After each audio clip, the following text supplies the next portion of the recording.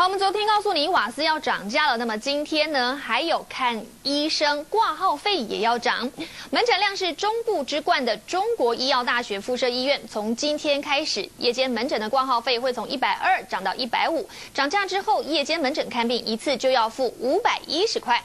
另外，台中医院也传出可能会在明年跟进调整。卫生福利部说呢，门诊的费用上限是一百五，急诊不超过三百块钱，所以呢，他们要涨价是。没有符合规呃没有违违反规定的。